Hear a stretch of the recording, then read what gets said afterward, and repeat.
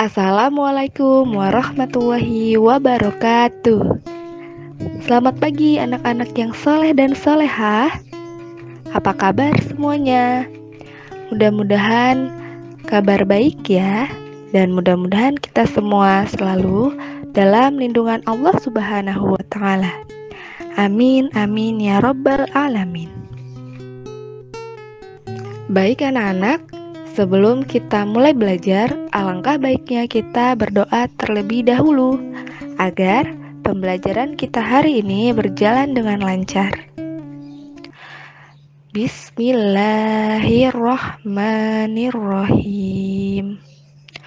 Raditu billahi rabbah wa bil islami dinah Wabi Muhammadin nabiyya wa rasulah Rabbi zidni ilman warzuqni fahman Amin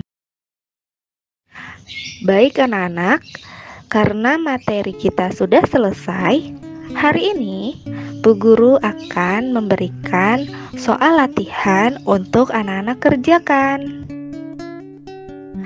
Latihan soal. Jawablah pertanyaan berikut ini. 1. Contoh sikap mandiri Nabi Muhammad SAW adalah 2.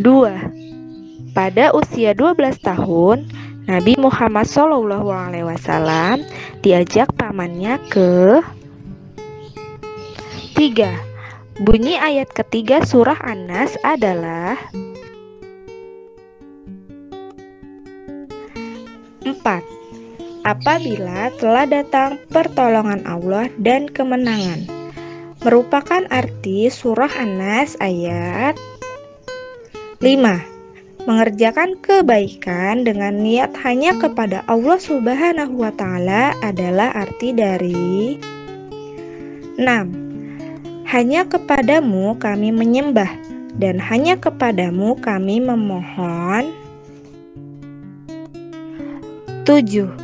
Allah itu satu. Asmaul husnahnya adalah 8. Ayat kedua surah Al-Ikhlas berbunyi 9. Salah satu sikap keteladanan Nabi Yusuf alaihissalam adalah 10. Salah satu sikap keteladanan Nabi Shu'aib alaihissalam adalah Alhamdulillahirabbil alamin. Latihan soal hari ini telah selesai. Semoga anak-anak menjawab pertanyaan dengan percaya diri ya.